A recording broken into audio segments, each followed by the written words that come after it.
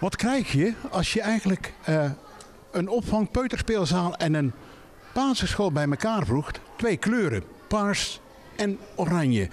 Nou ja, die twee kleuren, eh, mevrouw Vrouw, die hebben toch wel een betekenis. Ehm, nou ja, in die zin, uh, wij zijn uh, officieel waren wij dus de basisschool De Vlier. De Vlier, dat is vernoemd naar de vlierbessenstruik en die heeft de paarse besjes, zoals je ook in het logo kunt zien. Dus wij hebben ook gekozen voor de kleur paars als herkenbare kleur van de schoolkant van het kindcentrum. Ja, het is wel frappant. Eind december ging in Brandenvoort de school eigenlijk samen met Spring. En nu deze school. Waarom?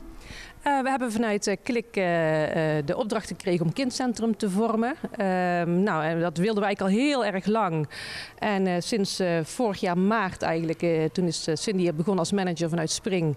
En toen hebben we elkaar gevonden. En toen zijn we in een stroomversnelling deze plannen verder uit gaan zetten. Ja, wat betekent dat, dat eigenlijk voor de samenwerking van school? Want het moet in een en ander aangepast worden. Het logo, de school, binnen de school, moet veel ja, veranderd worden. Ja, dat klopt. Uh, dat is ook iets waar we hè, net in, in het uh, praatje naar de kinderen toe aan gerefereerd hebben. We hebben ook echt uh, samen na moeten denken over het nieuwe logo. We wilden het wel heel herkenbaar houden, dus wel een beetje herkenbaar nog van het oude logo, maar dan aangepast met de nieuwe kleuren.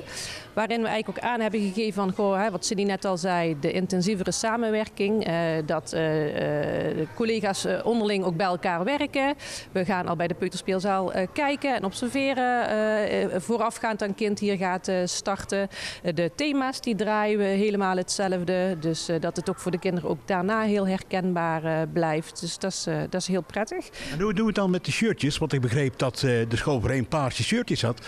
Wordt het nou toch oranje en paars of, blijft het, of wordt het één geheel? Nee, we blijven de paarse shirtjes hanteren. En dat doen we eigenlijk, en dat is heel grappig. we hebben het vorig jaar gezien toen we op schoolreis waren. paars is bijna geen kleur die een andere school heeft. Dus we, het is heel herkenbaar. Dus het is heel fijn als we de avondvierdaagse lopen of in een pretpark zijn, dat we meteen herkennen, hé, hey, de paarse, das dan van kindcentrum De Vlier. Uh, dus de paarse shirtjes die blijven gewoon.